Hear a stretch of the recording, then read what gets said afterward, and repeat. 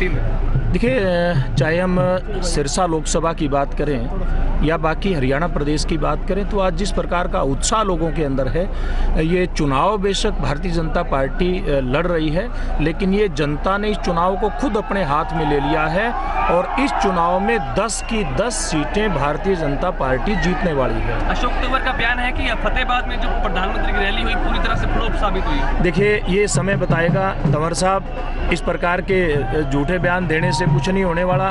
जनता ने मन बनाया है, भारतीय जनता पार्टी को जिताने का कल जो अपार जन सैलाब प्रधानमंत्री जी की रैली में था। कांग्रेस तो कई रैलियाँ मिलाकर के इतनी रैलियाँ नहीं कर सकते। सीएम साहब कल की रैली में नहीं आए सर। देखिए कोई तय नहीं था उनका। सीएम साहब कुरुक्षेत्र थे। प्रधानमंत्री जी के कारकेट में एकदम से वहाँ पहुँचना संभव होता नहीं। एक ही स्थान पर रह सकते हैं। यहाँ मैं था और वहाँ मुख्यमंत्री जी थे। राहुल गांधी का सिरसा दौरा आज रैली की गई है सिरसा में। देखिए कितनी रैली कर लें। राहुल जी आए प्रियंका जी आए किसी को भी लेकर के आए। यहाँ की जनता ने कमल खिलाने का मन बना लिया है ठीक है।